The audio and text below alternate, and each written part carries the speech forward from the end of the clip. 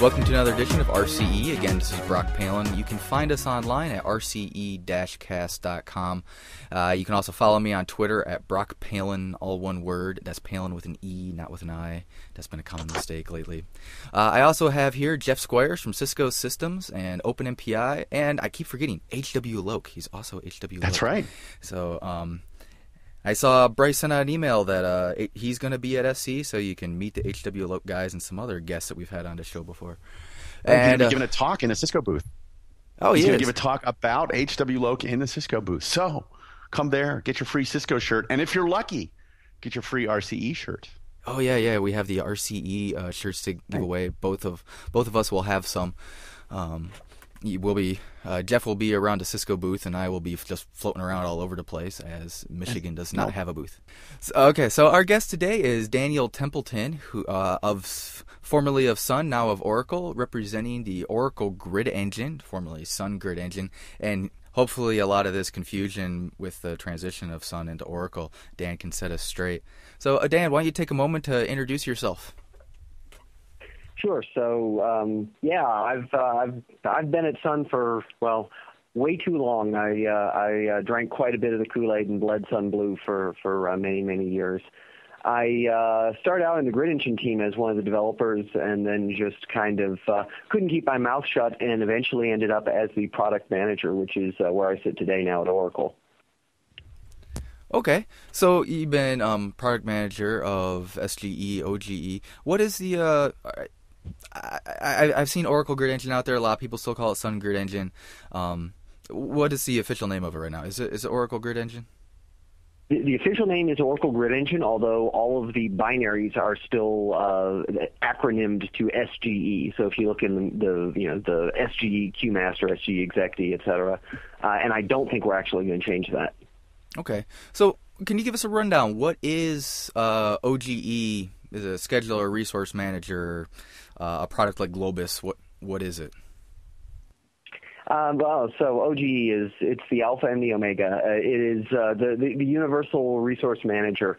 Uh, the the whole idea of uh, Grid Engine and and the, uh, the the other similar products that are out there is to take a set of resources and a set of incoming workload and make the best use of those resources to satisfy that workload.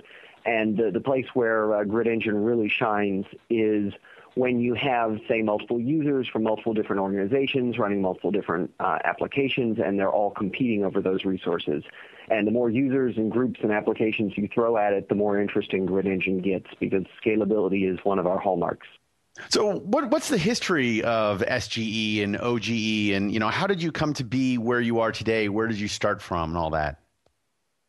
Yeah, so well, Grid Engine uh, came about as uh, a company founded in Germany uh, in 1990, maybe 1989. Uh, the way, way back when Grid Engine is a, a very old, very mature product at this point. Um, Sun picked the company up in 99, I believe it was, and then uh, released the first open source version of it in 2001. So it was actually a closed source product prior to Sun's acquisition of, uh, of Gridware. And uh, then Sun opened it up in 2001. Uh, so we had the product and then also the Grid Engine open source project. And uh, that went on merrily for a while under a variety of names. It had been Sun Grid Engine, Sun Grid Engine Enterprise Edition, Sun N1 Grid Engine, back to Sun Grid Engine. And then the Oracle acquisition happened, and now we are Oracle Grid Engine, and uh, we, we now it's actually okay to just colloquially call it Grid Engine. No, well, that certainly simplifies things quite a bit. So you you mentioned uh, a second ago that scalability is one of your trademarks. What do you what do you mean by that remark? Um, well, so if you go look, uh, for example, one of our uh, uh, top customers, that if you've ever talked to anyone from Sun, uh, in the first three minutes of the conversation, they will bring up uh, Texas Advanced Computing Center. We were all brainwashed to do that.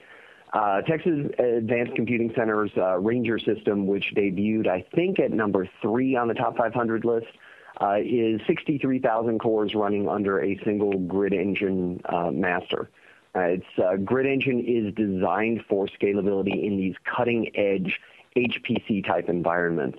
Right? Um, TACC is the largest system in deployment that I'm aware of, but they uh, have they are far from the ceiling of the product's capabilities.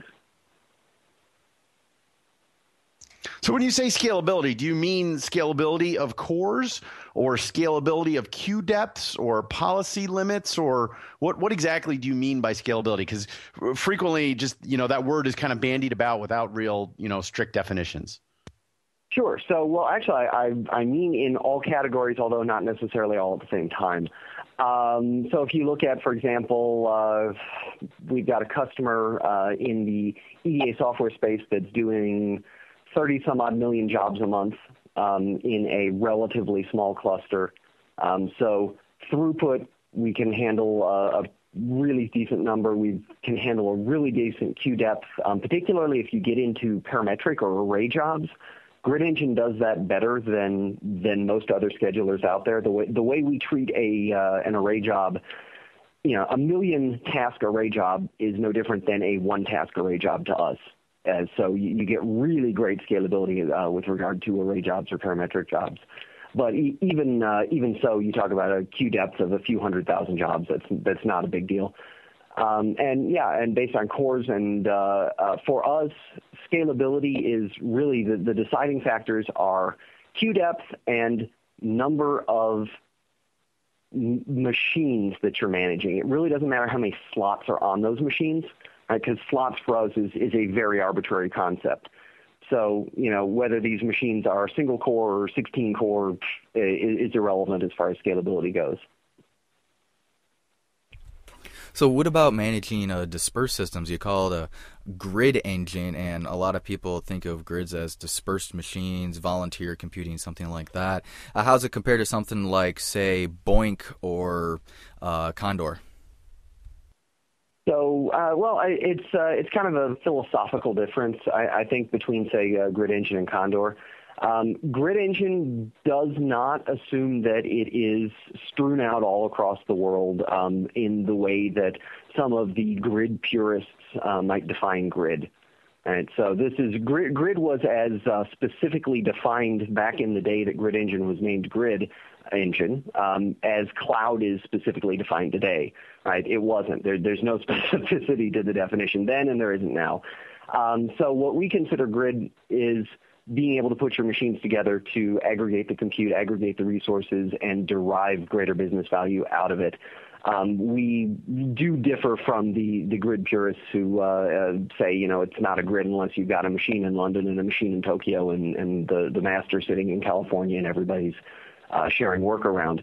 And uh, in a large degree, that's because in a practical sense, that's just really hard. Not necessarily from the uh, scheduler's perspective, but from the making use of it perspective, because it's all about the data, right? And you don't want to go ship terabytes of data all over the world. That that's just a bad thing.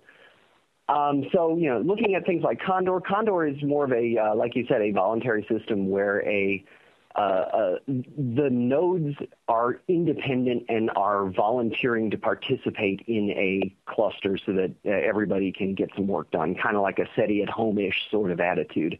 Uh, whereas Grid Engine assumes that there is a set amount of dedicated resources. This is in a data center. There is a master that owns the machines, and it's more of a, a union model, right? It's uh, the, the, the orders are passed down from above, and the the nodes that are in the the compute grid are slaved to the master. Okay, so would you say that the philosophy is similar to more like Slurm, Torque, uh, some of the other resource managers that are out there? Absolutely. Okay, so can you integrate? Um, so you said that you have a scheduler. Uh, how complex a scheduling can you do? Uh, Grid Engine supports about as uh, complex a scheduling as, as, as anyone would be capable of understanding. Uh, one of the problems that you can easily get yourself into with Grid Engine is there are so many knobs and, and switches and buttons to play with on the scheduler that uh, you can end up with configurations that either make that, that are so complex that you can't tell if they're working, or they're so complex that they're that they're not particularly useful. But we support we support all the, the good stuff, the fair share scheduling of a couple of different varieties, you know, ticket-based policies, um, being able to do fine-grain uh, resource quotas, uh, being able to do advance reservation, um, resource reservation to prevent starvation of large jobs, um, pretty much anything that's out there in uh, uh, the other scheduler systems as far as uh, scheduling capabilities we also support.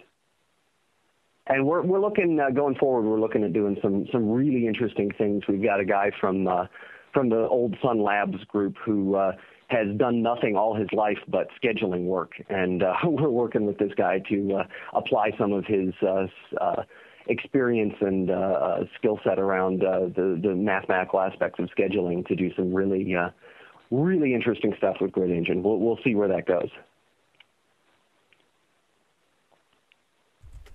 So, what's the actual architecture of this? Is the queue and scheduler all one process, or are they independent?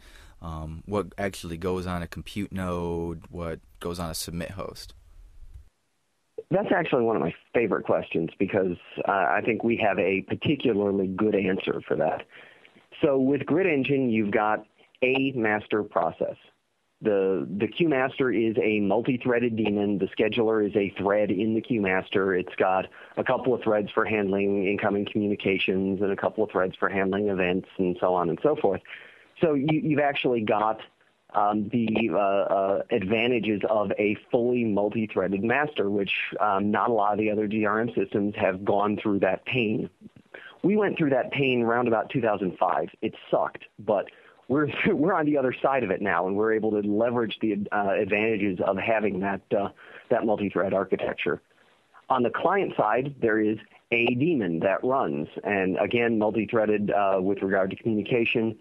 Um, so you've got in total a master daemon, and then on each execution node there is an execution daemon. Uh, there is one port that you open for the master. There is one port that you open for the execution daemon. All very very simple to keep track of. So let me uh, change direction here a little bit and ask about the, the, elephant here in the room. So there's been a there's been a bit of a brouhaha on on the interwebs about uh, uh, the licensing issues, and there's been talk of a fork uh, on the open source side. What what can you tell us about this? Can you clarify any of the rhetoric that's been going around about you know there are people who are talking who are angry and not necessarily uh, talking with their brains. So uh, I wonder if you could just kind of clarify the whole situation for us. Yeah, well, you know, it's. I'm not sure that anybody's really all that angry. I think people are just a, a little bit uh, um, confused about what's going on, and and right, rightly so. Um, so there's a couple of different uh, issues that are coming up there. So one is is Grid Engine alive? Absolutely, hell yes. Um, we've got a roadmap coming up that I think is going to be really interesting um, you know, it, it's we can get into this a little bit later, and I think we will. But it's it's fairly logically what you would expect a company like Oracle to do with a product like Grid Engine. Um, the the other part of it is is okay, it's not free anymore. Um, hadn't actually been free for a while now. It's been maybe two years that it's not been free. Um, Sun had this this phase that we went through where everything was free. Uh, we were going to give it all away for free and make it make up for it in volume um, somehow. I'm not sure how that was going to work. And uh, for Grid Engine, it really didn't work. And we actually exited that a, uh, a, a quite a while back. So Grid Engine has been under a 90-day eval license uh, as opposed to the free for everything forever uh, license since 6.2 update 2, I believe. Um, so that, that's uh, people are only just now discovering that, and I'm not sure how that uh, slipped by. Uh, we it's not like we kept it a secret. Um, so anyway, that's that's uh, the the second thing, and then the third thing is what's going on with the open source. Um, it's no big secret if you go out to the open source website and you go look at the CVS logs. We haven't checked in anything since the acquisition. Um, that you can take for for what it, what it is. Um, I, I honestly can't say whether we're going to uh, continue contributing to the open source. You know, if we're going to go do a delayed commit, um, if we're going to be able to adopt like the MySQL model of doing open core, um, if we're going to do something like the Solaris model where they're they're uh, doing delayed commits. Uh, right right now, we're obviously not doing any commits, and uh, I don't know where we're going to go from here the the forks. Um, there's actually, I, I, think there's two forks now, if I'm reading this correctly. I, I saw on the, uh, the, the mailing list today. So there's a uh, Open Grid Scheduler fork, which uh, I love the guys that are doing the fork. Right, one of the things, one of the great things about Grid Engine has always been the community, and so you know I, I'm annoyed that there's a fork, but I love the guys that are doing it. So you know, I, I can't I can't I can't be annoyed with it really. Um, so Open Grid Scheduler, they're going to try and have a release of that before supercomputing. Um, and there's another one that just came up. Uh, I find this amusing. They call it SGE, the son of Grid Engine Scheduler. Um, That's great. yeah, so uh, um, go out to the mailing list. Uh, they uh, just sent out the link. It was uh, last night or this morning for that one. Um, and you know, so if Grid Engine um, lives on, if, if, they fork off the open source and it lives on uh, that way, that's fine. Um, the the plans, at least for Open Grid Scheduler, is that it's a uh, a worst case scenario fork. In other words, they're doing the fork just in case Oracle decides not to return to committing to the open source. And at any point that Oracle does finally come back to doing it, they're willing to just give up and go back to whatever whatever the uh, the, the main source base is that Oracle's offering. Okay, well that's that's fair enough. Um, so then let me ask, what do you guys get out of the community? So if you haven't really given anything uh, back code wise, what is Sun slash Oracle's participation? Um, well, so we're we're aside from the contributing, we're still doing uh, all the participation that we always did. So the Grid Engine community is uh, built up around the mailing lists on the open source site, and uh, the, we're still participating full bore on uh, answering questions, helping customers, uh, you know, figuring stuff out, uh, helping guys get up to speed on Grid Engine on that on those aliases. So the only thing that's really changed since the acquisition is that we're now pushing the source code out right now uh, to the, the open source site. Um, so what we get out of the community, the the community, you know, so I've I've been in this team since the the just after the point where they open sourced, and uh, it's been really interesting to watch the community grow up around these mailing lists. Back when I first joined, it, it was a mandate that all of the developers uh, would listen in on the alias and answer questions. Right, we were trying to build this community, and at this point, it's rare that one of the product engineers actually gets to answer a question because the community is self-supporting at this point.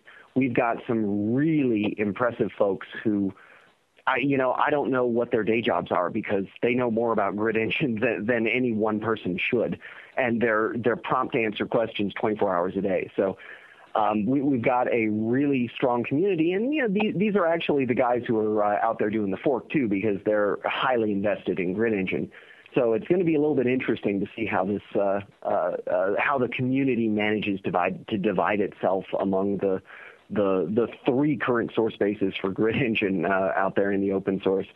And I'm going to do what I can to try and get get all of that unified in some sensible way, right? We, the the last thing we want to do is is have this thing uh, fracture and fragment into a, a non-useful community. Okay, so we talked about the the status of OGE, SGE, and um, what some of its features were. Oh, what is when going back to compare to some of the other resource managers and schedulers out there, what would you say is the biggest strength of uh, OGE versus some of the other products you've seen? Uh, well, so it kind of depends on exactly uh, uh, which one you're comparing against, because they all have their own uh, unique spin on uh, on how they approach the problem. Um, Grid Engine, the, the things we do really well, uh, awesome at scalability, uh, ex- uh, obscenely flexible, I would even say. Um, Gr- Grid Engine is flexible to the point that there are more things that you can tweak than most people uh, understand. Uh, it's it's kind of funny. I've been on this product now for uh, just about eight years, and still about every month I will come across a feature and go, "Wow, I had no idea it could do that." Um, there's there's so much stuff buried in there, um, and a lot of it is around the ability to configure it in interesting and unusual ways. Um, I, for example, uh, once upon a time, I used Grid Engine. I, I uh, this is a really inappropriate use of Grid Engine, but it was uh, a fun use. I uh, set up Grid Engine as a way to manage an application server cluster.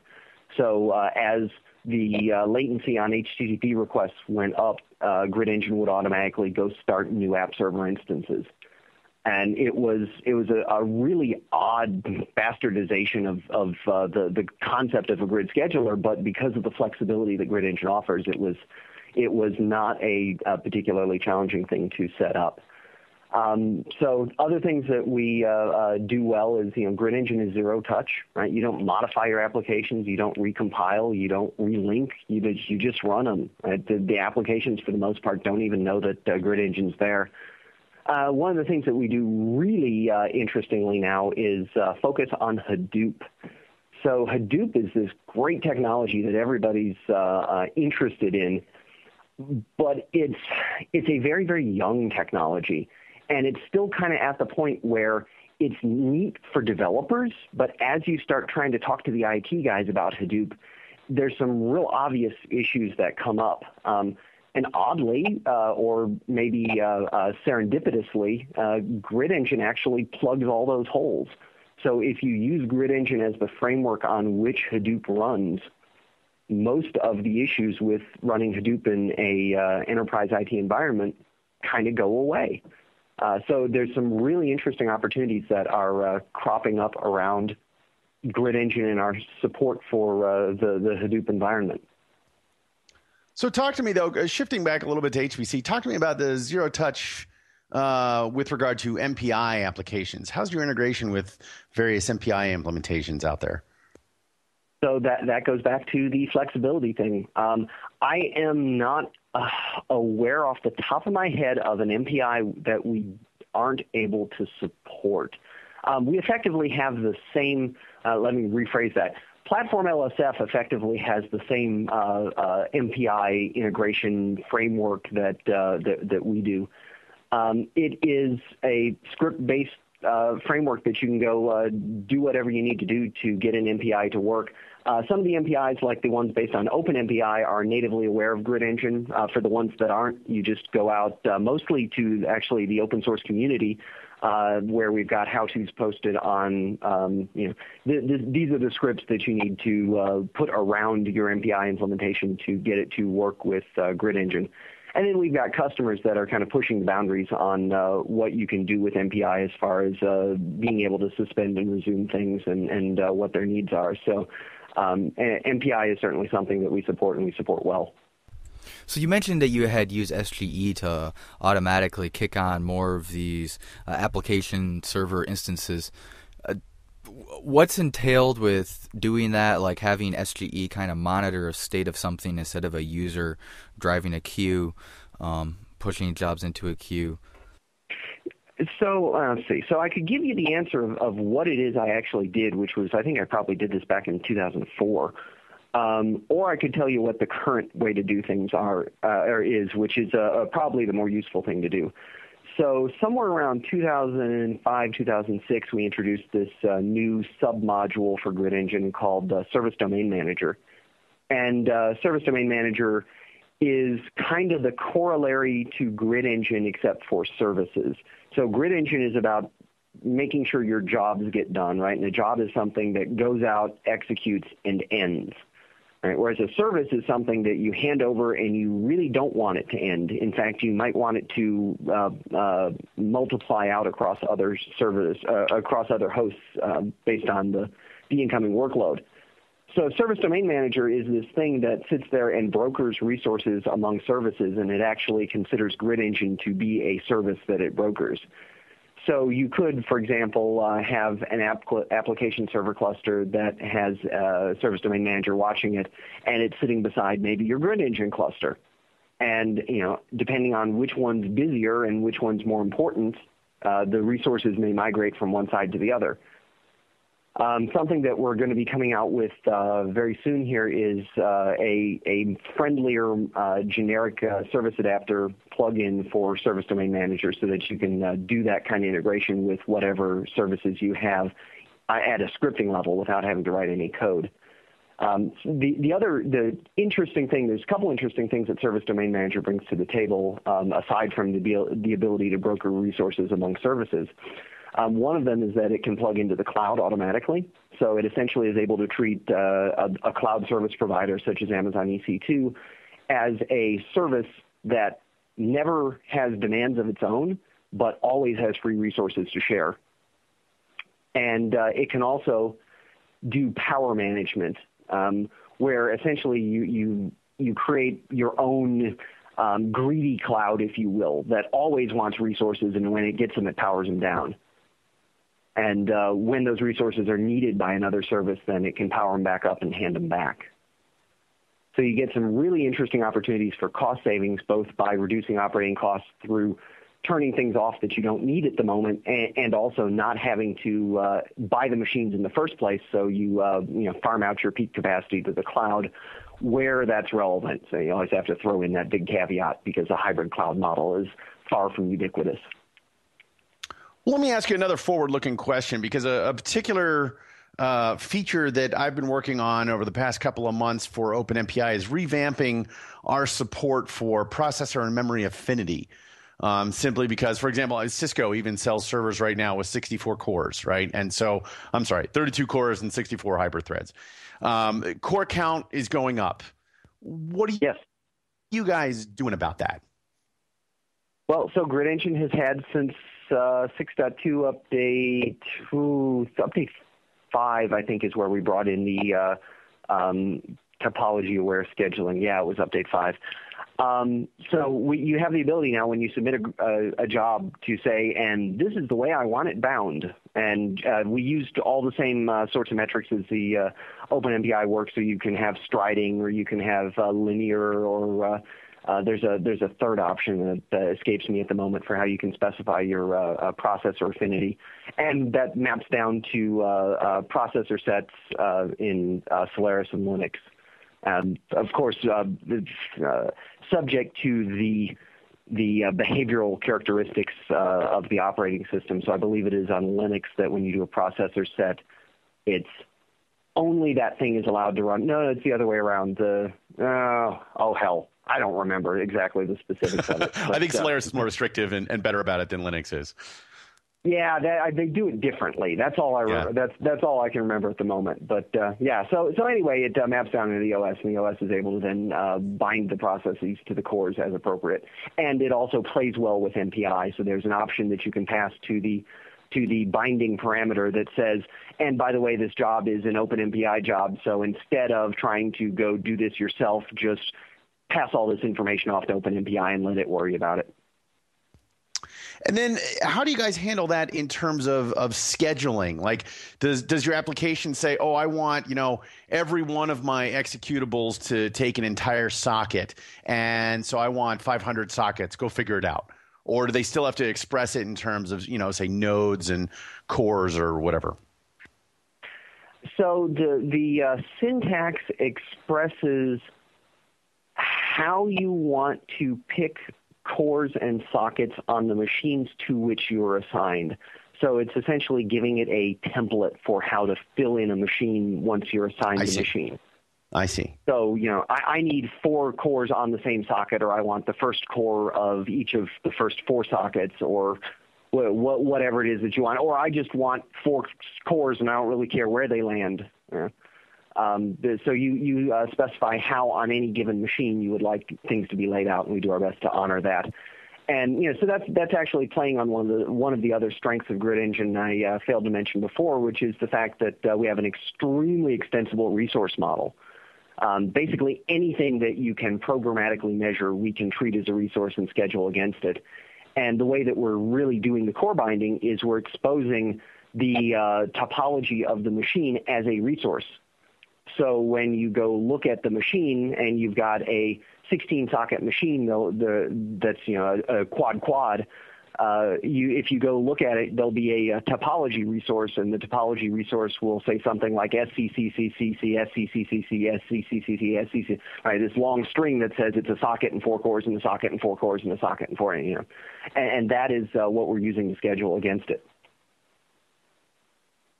I see. So will you actually then uh, are are you capable of scheduling say, you know, 17 of those 32 cores to one job and then another 5 cores to a different job and then another 7 cores to another and so on kind of kind of do a dense population even though they might not be contiguous within the topology of that machine? Are you able to schedule and manage all that? Um, yeah, so it depends on your MPI configuration, but yes, so that that falls under the way that you configure MPI for uh, Grid Engine. Uh, it could be uh, that the MPI demands that every machine have the same number of uh, instances, same number of processes on it. Um, or you could have a, just a, a fill-up pattern uh, that, that you would then have, you know, some on this machine and then spill over into some on the next and spill over into some on the next. And the uh, in that case, the processor topology would be uh, uh, decided by that template that you provided. And once the template's exhausted, you just fill out whatever else is left. So what about like hyperthreads? Can I submit a job and say like I want I'm okay using hyperthreads or you know I don't want hyperthreads? So given the flexibility of Grid Engine, I'm certain the answer is yes. But off the top of my head, I don't actually. Uh, th- th- there's no, there's nothing built into the product that is. Um, well, actually, that's not true. The topology, uh, the topology aware scheduling does. Um, so you might have a, uh, a topology string that looks like SCTT, CTT, CTT, CTT, SCT, right? So it, it's aware of the hyperthreading on the cores. Uh, in which case you, you can actually schedule against that. And uh, for us, the way that we manage slots, right? Slots is just kind of an arbitrary concept. So you could have a, you know, a 16 core machine with one slot or a one core machine with 128 slots. We we don't really care. You just tell us how many jobs you're allowed to run on the machine, and we'll we'll work it out. So does SGE have something so that when I install the daemon that goes on the cluster nodes, that it has a way to figure out what's it's installed that this is a dual socket quad core with hyper threads and has memory layout like this. Does it figure all that out? Does it use a library like hwloc yes. or something like that, or did you do it all yourself? Uh, I be- so I, I, don't believe we used a third-party library to do it. I'm actually not uh, um, intimately familiar with the uh, core binding um, uh, source code, but it is uh, handled automatically when you uh, uh, start up the execution even on the, the machine. It goes and figures out what the topology is. It queries the machine. So uh, you mentioned Solaris and Linux. Uh, do you support any other operating systems, or do you support any particular hardware, or what, what's your support matrix like? So we are completely hardware, um, hardware agnostic. Um, we, we, don't care what uh, physical machine you run on. Uh, operating system support, um, we, so we run on anything that you would care to run it on. Um, so the the official support matrix. Let's see if I can recall uh, every uh, entry on it correctly. We've got Solaris, which we support every version of Solaris since Solaris 8, I believe. Uh, Linux, and we don't care what flavor or what version, as long as you've got at least a 2.4 kernel and a glibc of 2.3.2 or better. Um, we support AIX. We support HPUX, uh, Mac OS, Windows, um, am I forgetting one? No, I think that's our current matrix. We actually just uh, in the last year or so dropped IRIX finally because apparently no one cares anymore. And if you go out into the uh, open source, uh, you, you, either grab the uh, Grid Engine open source or, or one of the forks. Um, you've got support for just about everything under the sun, uh, everything from Cygwin uh, all the way up through uh, z/OS. z/OS, wow. Hey man, that's like the big mainframe operating system, right? Yeah. Ah, yeah, yeah. Fancy. Yeah, so that that falls into the. Um, I think you had uh, mentioned in our emails offline. You know, was looking for weird use cases of Grid Engine. That that's actually one of them. Use Grid Engine on a, a big machine like uh, a mainframe uh, to do scheduling. So uh, there there are more than one single node Grid Engine clusters out there. So I, I, don't know anything about mainframes, but it, it, strikes me that that would probably come with their own, you know, vendor supplied resource manager or whatever kind of mechanism for running that stuff. Why would somebody run, you know, Grid Engine to do that on their mainframe? So I think that's a completely valid question. Quite honestly, on the mainframe use case, uh, I'm not entirely certain why um, that they wanted to do that, but there was a customer that wanted to do that. Um, on a less than mainframe machine, you know, things like the uh, fair share scheduling and the uh, advanced reservation and such uh, definitely does uh, make sense, and that may even be part of the uh, impetus for using it on a uh, on a mainframe. Yeah, so quite quite honestly, I agree. I, I don't know why you'd be using Grid Engine on a mainframe, but somebody wanted to. So what what's the future for OGE? What's the positioning in Oracle's portfolio, or any other features? Um, yeah, well, you know, so Oracle is exceedingly uh, tight-lipped about that sort of thing, so I, I, can't get into very specific details, but we, we can kind of uh, uh, muse about what logically one could expect from a, a product like Grid Engine at a company like Oracle. Um, and, and before we go there, there's one other uh, comment I, I, wanted to throw out there with regard to uh, whether Grid Engine is alive or dead, and that's that we have the ultimate in job security. Um, the the boat that Larry used to win the uh, America's Cup. Uh, there's two firms that worked on it: uh, BMW Oracle Racing and uh, Cape Horn Engineering, uh, both of which use Grid Engine to to do the uh, CFD for for his boat. So we're safe. Outstanding. yeah, exactly, exactly. We're, we're, Larry's best friends now. Um, um, so the going forward, looking at Grid Engine, um, all right, so Grid Engine at Sun was always very HPC focused, right? We pushed that scalability boundary. It was the is about power. It was it was about you know having the chainsaw with none of the safeties because damn it, we were pushing the cutting edge, and if you weren't bleeding, you weren't doing it right. Um, looking at Oracle, that's that's not really the way Oracle does things. Oracle is is very much very squarely focused on the enterprise. They're very squarely focused on IT. And quite frankly, we could use some of that.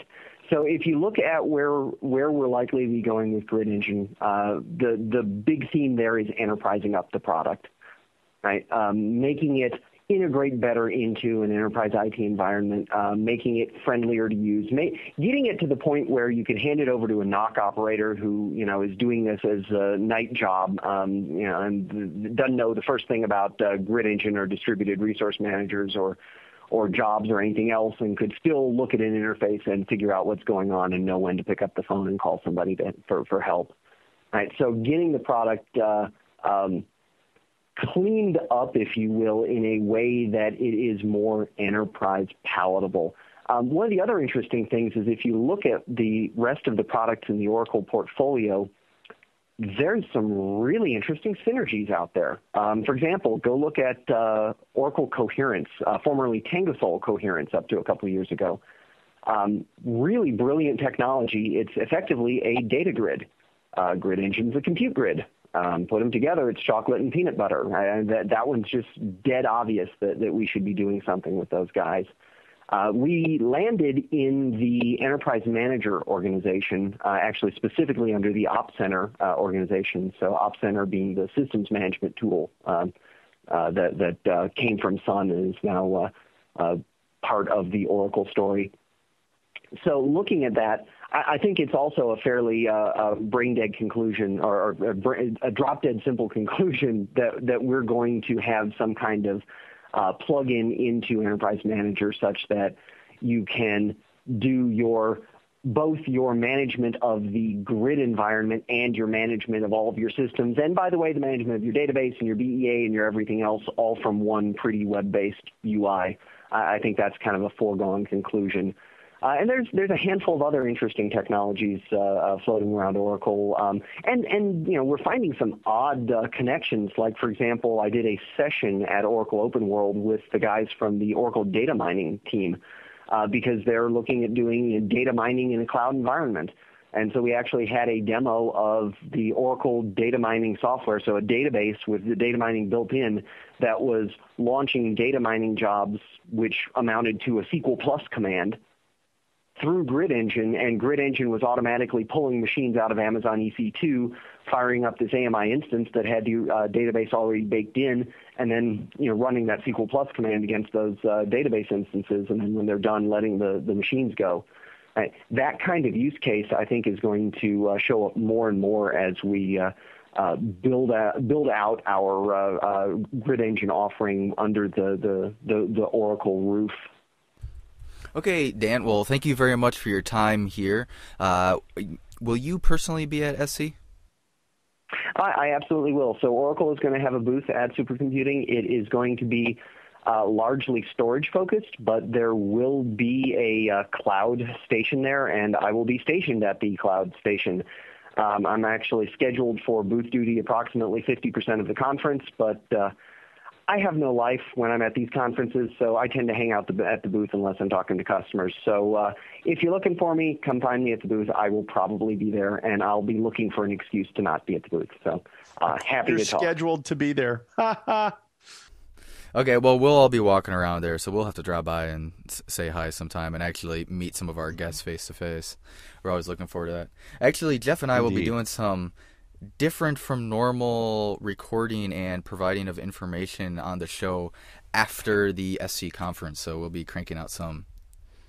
Yeah, we kind of neglected uh, to mention this up front. Yeah, we're gonna we're gonna do a few different things this year. So listen for upcoming stuff in RCE from uh, you know live SC coverage, or at least on site SC coverage. Not Yeah, I mean, I'll live. definitely be tweeting. I'm not very good at it, um, but you can. You know, I'll be, I'll be tweeting from my Twitter handle, which you can find on the RCE website or just Brock Palen, all one word. Okay, well, again, thanks for your time, Daniel. I, I think this was very useful, and I I hope uh, this clears up a lot of the confusion out there in the community about what's going on with. OGE. Yeah, I hope so as well. Thanks for having me on, guys. Thank you. Okay, and we'll see everybody at SC in uh, about a week.